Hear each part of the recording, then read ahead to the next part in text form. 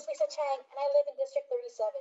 I am here today to speak against ESHB 1705, and I ask that you vote against this bill.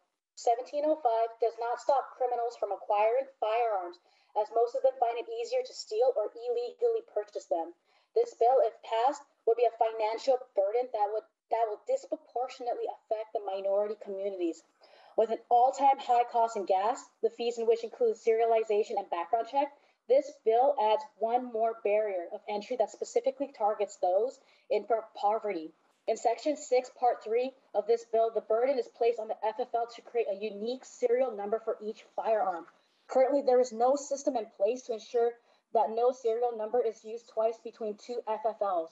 This part of the bill endangers both the FFL and the firearm owners in becoming accidental criminals Furthermore, the lack of grandfather clause from current owners of, quote, ghost guns will criminalize those who manufacture them legally purely through inaction, making them criminals overnight.